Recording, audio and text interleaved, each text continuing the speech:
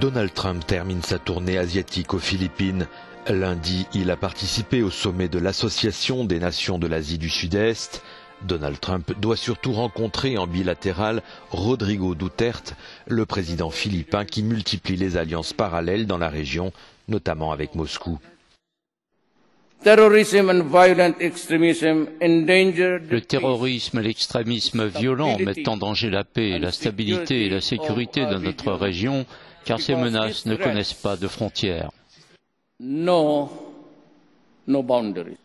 En se plaçant d'emblée sur le terrain de la lutte antiterroriste et de la lutte antidrogue, Rodrigo Duterte a su arrondir les angles avec Washington.